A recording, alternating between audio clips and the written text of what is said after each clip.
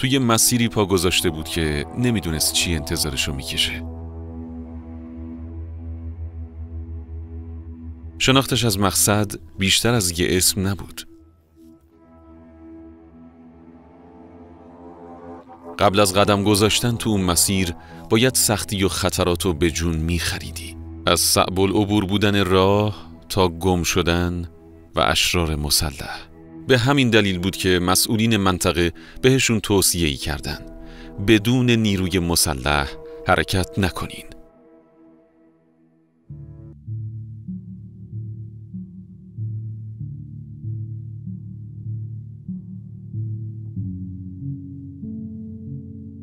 عبدالله والی به همراه چند نفر دیگه در اسفند سال شست وارد مسیر سنگ لاخی شدن که دور تا دورش توسط کوه ها محاصره شده بود. اونا بعد از ساعتها رانندگی و همچنین شطور سواری و بعد از فروکش کردن گرد و خاکا مکانی رو دیدن که نمی‌تونستی اسم شهر رو روش بذاری نه روستا و نه حتی محلی برای زندگی. اینجا بشاگرد بود. همه چیز از یه پیشنهاد شروع شد. آقای ملکشاهی معاون وقت هلال احمر به عبدالله والی که اون موقع لباس رزم پوشیده بود و در جبهه ها از خاک ایران دفاع می کرد پیشنهاد داد که به همراه یه تیم تحقیقاتی و با هدف محرومیت زدایی به منطقه بشاگرد بره. عبدالله وقتی وارد بشاگرد شد فهمید که برای برطرف کردن رنجای این خطه نباید پوتینای میدون رزم از پاش در بیاره.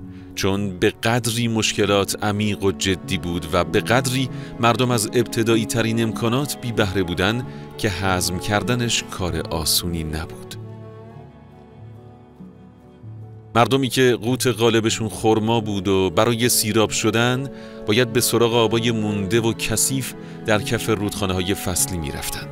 جزام و مالاریا هم مهمون مردم این منطقه محسوب می شدن.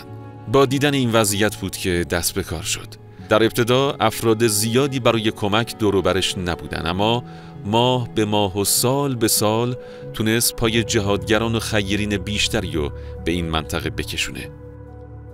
بعضی هستن هر کاری می‌خوام بکنن قبل از اینکه کار انجام بگیره تابلوشو می‌زنن. مدت ها این تابلو اونجاست هیچ کاری هم انجام نگرفت. بعضی هم نه.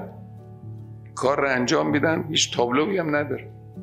کار مرحوم حاج عبدالله والی و شماها از این نوع دومه. یعنی بی تابلو رفتید کار واقعی کردید. برای خدا. اینجور کارهای بی سر صدا و خاموش و خالصانه مثل این سیمانی است که توی یک بنایی تزریقش کنن مستحکمش کنن. در کل بنای جمهوری اسلامی اثر می‌گذاره. بدونی که کسی بفهمه مستحکمش می‌کنه.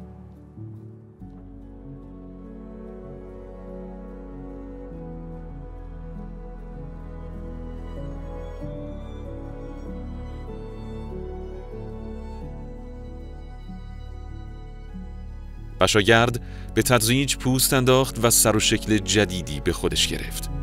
مسیر سنگلاخ جاشو به کیلومترها جاده آسفالت داد و احداث مراکز درمانی و مدارس جایگزین بیماری و بیسوادی شد. پاک کردن قبار گمنامی و محرومیت از چهره بشاگرد حاصل 23 سال مجاهدت عبدالله والی بود.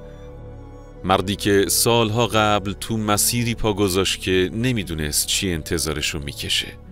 مردی که پیامبر بشاگرد شد.